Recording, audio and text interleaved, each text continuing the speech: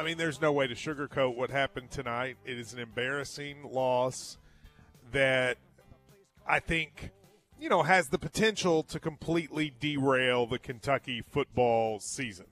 Um, you know, you watch the game. I don't have to go over all of it.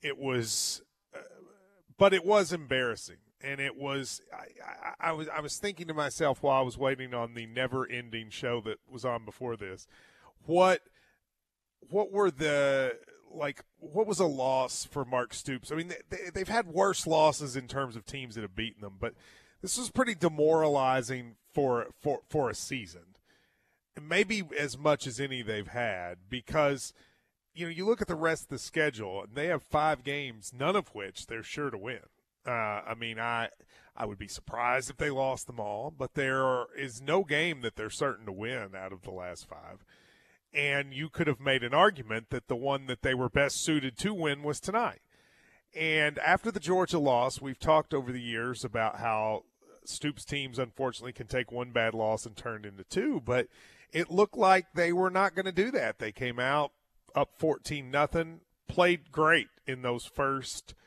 uh, in those first you know first quarter. That first quarter was excellent. That first quarter was uh, Liam Coen at his best, Brad White at his best, Mark Stoops at his best. Devin Leary played well. Ray Davis played well. I mean, I you, you couldn't have asked for a better first quarter. And then uh, you get a stop on on defense and you get the ball back. And I think the next little sequence ended up defining the game. You know, we, we, we went deep to Barion Brown, just missed him. Freddie Maggard, you may have heard on the pregame show, said that uh, he didn't like when we go deep on first down. It gets us behind the uh, behind the chains, and we're not able. To, and I think he had looked it up, and every time we had thrown deep on first down, we hadn't completed it once all year, and we had only gotten a first down on that series of downs like twice out of like 12 attempts. Well, there's another one. Um, but nevertheless, you punt them the ball and you stop them. And the fake punt, I'm sure, is what a lot of us are going to focus on, and we should because it completely changed the game, and you could argue completely changed the season. I, I was watching at home. The moment, so you know, they, they snap the ball over the head of the quarterback. He falls on it. It's now fourth and 10 on the 39. I, I thought they would go for it because at that point, with the way the game's playing out, punting, I didn't even consider that they would punt. I thought either they'd bring out that kicker because he's got a huge leg and maybe they would try a 56 yarder or they would go for it. I, I, never thought they would punt it. And when the punter ran out there, I said, well, this is go- this is clearly a fake. They're either going to try to like they're either going to take a penalty here or try to draw them off sides, then go for it. But if they this is a fake, there's no way they're going to punt at the 39 yard line. And of course, it wasn't. Kentucky's coaches at the at, were were obviously signaling that they believed it was a fake, but the players still looked confused if you go back and watch the video, two or three of them are talking to each other and pointing. I, I think in hindsight, you have to call timeout there. They don't. We end up in one-on-one coverage. Now, look, give the guy credit. He a punter threw it 40 yards on a dime, and the receiver made a play. But still, I don't listen. I'm not a special teams guru, and maybe there's a rule against it or stuff. But I don't understand why the one gunner that you're allowed in college football why we didn't have two guys on him. What else are they going to do right there? I mean, if they kick it, let it bounce into the end zone, and I, I, I don't I don't know what we were doing, but they make the play. It's 14-7, and it and the game completely changed. Now I agree with what Tom Leach said to Mark Stoops there at the end, where he said, you know, you're still ahead. You should still find a way to win. But there's no doubt it wasn't the same team after that after we were up 14 nothing, we lost tonight 38 to 7.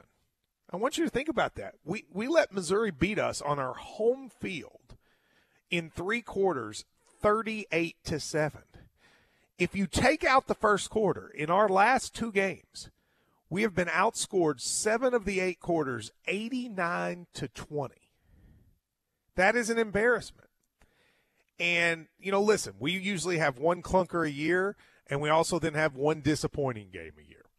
But what I think really frustrates me about this one, as much as any of the losses Mark Stoops has had, is I had gotten the feeling all season that this was a program that had some unjustified arrogance. We talked about it this week on the show. I thought there was unjustified arrogance. This, you know, since Mark's been here, there's been a chip on the shoulder with the program. And I've liked that. There's sort of a disrespect and us against the world. There's an attitude they've played with. And it, and it's a great attitude most of the time. But I had felt like at some points this year that that attitude went from one of aggression and excitement and climbing the ladder, which I think is how you have success in life, to sort of have that drive to arrogance and sort of complacency for a group that really hadn't accomplished anything in the last two years. I mean, they haven't.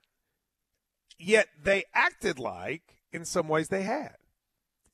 And I think you could sense it amongst players.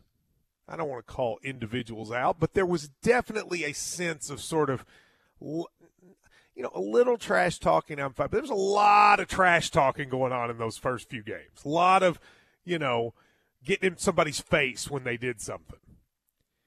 And against Georgia, we're down 20 and we're talking trash. And I think it came to a head tonight. 14 penalties.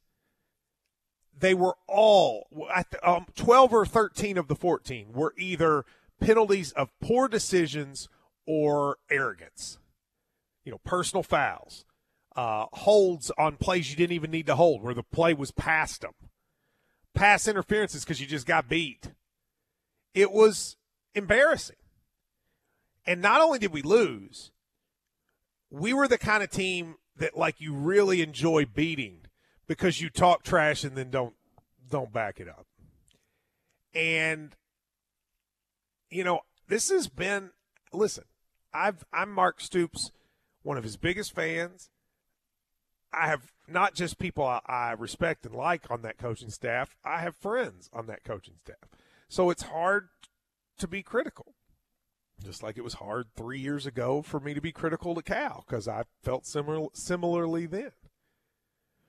But this, I hope this is a dose of humble pie for some folks. I do. Those comments Monday that Stoops made on his postgame show, I didn't want to blow him out of proportion because it's, you know, everybody can have a bad day. But those were comments that showed a disconnect from the fan base in a way I'd never heard from him and I thought they showed an arrogance that was around the program. Hey, we're good. You want us to be better? Pony up. Okay. I'm not saying I totally disagree with that, but that wasn't the time, and tonight shows why. You got as good of players as Missouri. I'd argue you got better players than Missouri. And they beat you. And they beat you because you were undisciplined, because you did dumb things, and because you let them be mentally stronger than we were. And that is on the coaching staff. It is. You don't get beat 89 to 20 in seven of the last eight quarters and point fingers anywhere else except at yourself. There's nowhere else to point them. Look, there were bad calls. That was a bad pass interference call. You know what, though? You still just completely gave in. And that's, you know, that's unacceptable. And so you got two weeks off, and you're now going to be a, underdog against Tennessee. You're probably going to be an underdog against South Carolina. You're probably going to be an underdog against Mississippi State. You're going to be an underdog against Alabama. There's a very good chance you'll be an underdog against Louisville, even though they lost tonight. So you have five games. You're probably going to be an underdog in all of them if they don't come out and play like the Stoops teams five years ago, where there was hunger and excitement, but also a sense of we're going to prove something, but we're not going to walk around like we've already proved everything and we're just waiting for everybody to pat us on the back. Because that's what we've been doing. We got a lot of guys that are making a lot of NIL money and are doing zero or very or you know close to zero. And I think it's unacceptable. And there are some things that have been problems forever that everybody just has moved, you know, acted like didn't happen. We can't punt. We can't cover punts. We sit back in zone and what let quarterbacks pick us apart. We drop passes. We hold. And then sometimes Leary misses passes. I actually don't put this on him, really. I don't think he played all that poorly.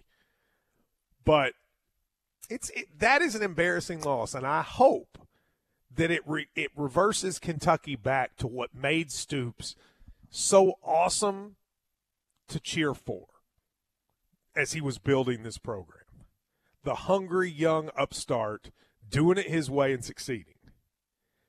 And not what we saw tonight, which was a different thing that, to be quite, quite frank with you, we are not good enough to do.